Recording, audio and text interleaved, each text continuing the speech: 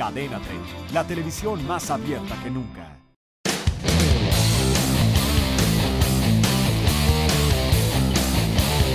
Seúl 1988. Un par de bronces, uno en clavados y otro en boxeo, fue la cosecha mexicana en los Juegos de Seúl 1988. El país envió una representación de 87 atletas en 17 deportes y logró colocar a 10 entre los mejores 8 del mundo. Jesús Mena fue el mexicano más destacado al terminar tercero en plataforma y además logró ser séptimo en trampolín, en unos juegos donde también destacó el sexto lugar de Jorge Mondragón desde los 3 metros. Mario González fue quien consiguió la medalla en boxeo dentro de la categoría mosca. Humberto Rodríguez en welter ligero se quedó una victoria de la medalla. El entrenador nacional de boxeo fue Vicente Torres.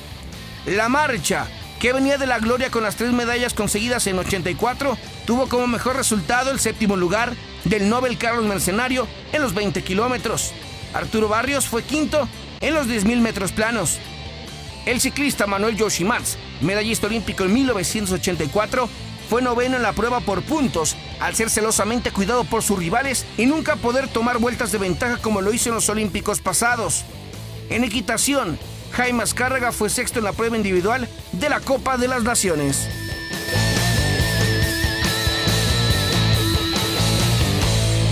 Cadena 30, la televisión más abierta que nunca.